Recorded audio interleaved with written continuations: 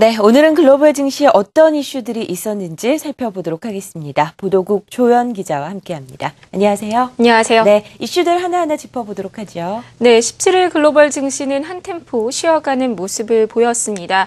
폭이 크지는 않지만 뉴욕과 유럽 모두 소폭 하락하면서 마감했는데요. 지난주 미 연준의 3차 양적 완화 발표로 급등했던 증시가 다소 조정하는 모습을 보였다고 전문가들은 진단했습니다.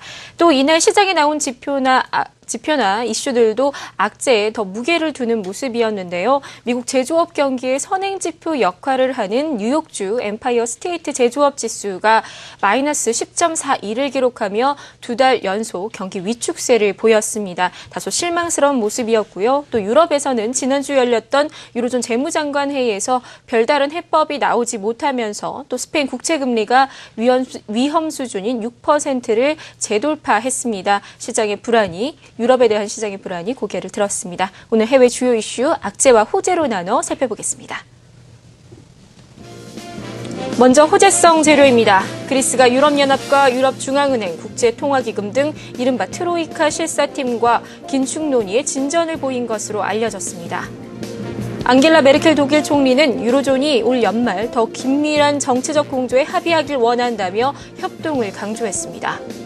아이폰5의 사전 주문이 24시간 만에 200만 대를 돌파했습니다. 이전 모델 4S의 2배입니다. 다음은 악재성 요인입니다. 뉴욕지 제조업 경기가 예상 밖의 부진을 이어갔습니다. 3년 5개월 만에 최악의 상황을 보이며 미국 제조업 경기 둔화 우려가 다시 떠오르고 있습니다. 스페인 10년 만기 국채 금리가 4일 연속 반등해 장중 한때 6%를 돌파했습니다. 스페인의 전면 구제 금융을 요구하는 목소리가 높아지고 있습니다. 시티그룹을 비롯한 글로벌 투자 은행들이 중국의 올해 성장 전망치를 잇따라 하향 조정하고 나섰습니다. 미 연준의 QE3도 중국 증시에는 호재지만 통화 정책에는 부담이 될 전망입니다. 네, 이제 미국 대선이 50일 남짓 남았습니다. 미국 대선과 경제적인 영향 굉장히 밀접한 관련을 맺고 있는데요. 이 제조업 지표 관련해서 대선의 영향 어떻게 보시는지 궁금합니다. 네, 뭐 다시 미국 이 여론이 경기 네. 경제 현안 경제 현안에 집중하는 모습인데요. 그 동안은 리비아의 뭐 미국 영사관 피습 사건이라든지 또 이슬람권 반미 시위를 계기로 외교 이슈가 주된 현안이었습니다. 미국 여론을 지배하고 있었는데 이제는 대선 주자들이 경제에 집중하는 모습입니다. 이 과정에서 G2로 꼽히는 중국이 타겟이 됐는데요. 먼저 미, 밋 롬니 공화당 후보가 지난 주말 버지니아주 페어팩스 연설 에서 버락 오바마 대통령의 대중국 정책을 강도 높게 비판했습니다. 롬니 후보는 중국을 환율 조작국에 빗대며 오바마 대통령의 우유부단한 결정이 중국 상품에 상계 관세를 부과함으로써 미국 제조업의 피해를 자초했다고 지적했는데요. 롬니 후보는 유세에서 중국은 미국에서 기술을 가져갔고 노하우까지 절도했다며 오바마 대통령은 기회가 있었지만 미국을 미국의 산업을 보호하지 못했다고 목소리를 높였고 또 본 인이 당선된다면 공정한 사업과 무역이 무엇인지 중국이 이해할 수 있도록 확실히 조처하겠다고 조치하겠다고 약속하기도 했습니다. 이 중국에 대한 압박을 예고했는데요. 이에 대해 오바마 대통령 측은 뭐 당연히 반박했겠죠. 조지 부시 대통령이 8년간 했던 것보다 오바마 대통령이 3년 반 동안 더 많이 세계 무역 기구에 중국을 제소했다고 주장했습니다. 이 하나 좀 웃긴 점이요. 이날 미국 정부가 중국 정부의 자동차와 자동차 부품 수출에 대한 보조금을 WTO에 제소했는데요. 오바마 대통령은 미 자동차 산업의 본산인 오하이오주를 방문 방문해 이 제소 배경을 설명했습니다.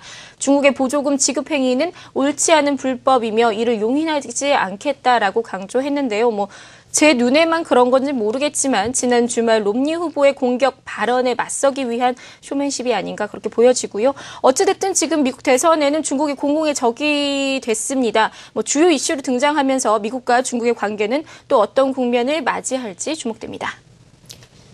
네, 요즘 하루가 멀다고 애플의 신제품 아이폰 5 소식이 계속해서 나오고 있는 상황입니다. 오늘 주가가 고공행진을 달렸는데요. 그 이유가 있었다고요. 네, 뭐 아이폰 5의 선 주문이 200만 대를 넘었다. 24시간 만에 하루 만에 200만 대를 넘었다라는 어, 200만을 돌파했다는 이야기가 나왔는데요. 17일 장 시작 전에 애플이 성명서를 성명을 발표했습니다. 이 성명을 보면 아이폰 5 수요가 초기 공급을 초과하고 있다. 24시간 만에 200만 대 이상을 팔았다라고 밝히고 있는데요. 계산을 해보면 초당 23대가 넘는 아이폰을 판 것입니다. 이전 모델인 아이폰 4S 기록의 두 배가 넘는 수준이고요. 이 같은 추세라면 사상 최대 판매량도 기대되고 있습니다. 애플의, 애플은 선주문의 대부분은 공식 출시일인 오는 21일 인도될 것이라고 밝혔는데요. 이 말은 뒤집어 보면 선 주문했던 신청자 가운데 일부는 10월 전까지 아이폰 5를 받지 못할 가능성도 있다는 것을 뜻하기도 하죠. 이 전문가들은 애플이 오는 29일까지 900만 대에서 1000만 대를 출대할 출하, 출하할 것으로 전망하고 있습니다. 종전에 600만 대 이상보다 많이 늘어났죠. 또 블랙베리와 안드로이드 등 다른 플랫폼 고객들도 흡수할 것이라고 밝히면서 이 애플의 시장 점유율 상승도 예상하고 있습니다.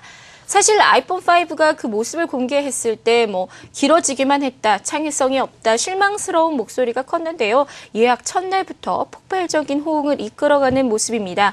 이에 시장도 지난주 연준의 3차 양적 완화보다 이 아이폰 5의 효과가 더 크다, 더 낫다라고 평가하기도 하는데요. 초당 23대의 판매가 그 계산을 해보자면 애플 한 대 아이폰 5 대당 최소 200달러란 점을 감안하면 1초에 4,600달러가 넘는 돈을 시장에 푼 셈이라는 분석도 나오고 있습니다. 이 당분간 아이폰 5에 힘입어 애플의 주가도 사상 최고치를 경신하는 이 행진을 이어갈 것으로 보입니다. 지금까지 글로벌 경제의 주요 이슈였습니다.